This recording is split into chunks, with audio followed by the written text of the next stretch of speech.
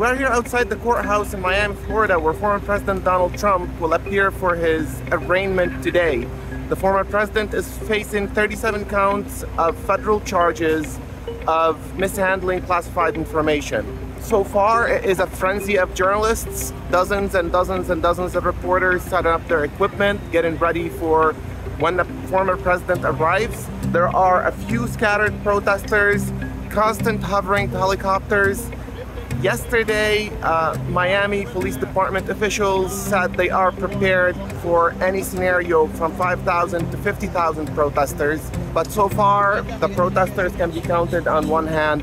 The weather is good. This is something that local officials said could play into how many demonstrators or counter demonstrators show up. It is sunny out here, but in Miami, the rain could just start falling out of nowhere.